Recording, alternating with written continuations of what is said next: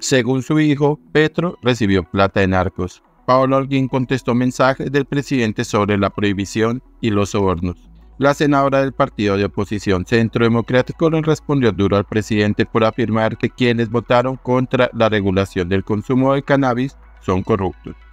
El debate de la regulación del consumo del cannabis de forma recreativa concluyó en el archivo de esta iniciativa legislativa pero la votación negativa a la propuesta ha causado revuelo entre quienes la defienden y los que se oponen a su regulación. Uno de los defensores, el presidente Gustavo Petro, escribió en sus redes que quienes votaron por el hundimiento del proyecto lo hicieron porque recibieron sobornos. Pero de inmediato le respondió la senadora Paola Elguín, recordándole al presidente que fue su propio hijo Nicolás el que lo acusó de que su campaña a la presidencia había recibido dinero de NAR. Luego de que se conociera que se había caído el proyecto de ley, empezaron las opiniones confrontadas. Por un lado estaban la propia senadora Alguín y sus compañeros de partido, así como otros legisladores que estaban en contra, y por el otro, sus defensores, entre ellos el presidente Petro, que escribió en su cuenta de X que quienes ilegalizan reciben sobornos.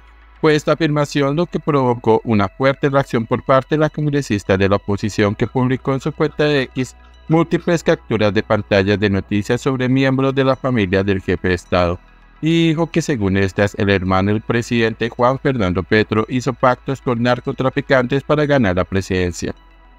Además recordó el escándalo de su hijo Nicolás Petro, en el que dijo que el primer mandatario había recibido dinero de narcotraficantes para su campaña política, y añadió que SADI, Sociedad Aérea Ibagué, usó naves de un narcopiloto que posteriormente se entregó al gobierno de Estados Unidos. Luego le dijo al presidente Petro que ellos, refiriéndose a los que estaban en contra de la iniciativa, no recibieron sobornos y comentó que hacer tal afirmación era calumnia, lo cual es un delito, por lo cual le pidió al jefe de Estado que si tenía pruebas de tal acusación, los denunciara.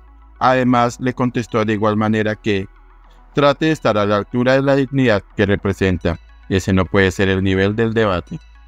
Esto dice quien, según su hermano, para ganar hizo pactos con narcos. Según su hijo recibió plata de narcos y según Sadi usó aeronaves de narcopiloto que se entregó en Estados Unidos.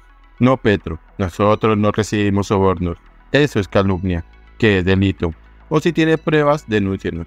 Trate de estar a la altura de la dignidad que representa. Ese no puede ser el nivel del debate, dijo Paolo Holguín. Cuando se cayó la iniciativa se compartió en redes sociales un video de los congresistas en contra del proyecto celebrando. Entre estos se encontraba Pablo Alguín, quien traspasó esa alegría a sus redes sociales cuando dijo que se mantendrían la lucha para proteger a la juventud colombiana e intentar conseguir una sociedad libre de drogas en sus palabras.